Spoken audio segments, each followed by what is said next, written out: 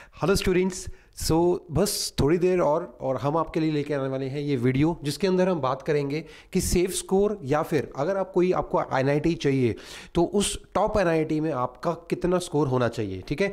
ये वीडियो आ रहा है आपके लिए ट्रिपल आई टीज एन और जी एफ़ के लिए। मतलब एक ओवरऑल वीडियो है ये। इसको पूरा ज़रूर देखिएगा और दोस्तों के साथ शेयर करिएगा।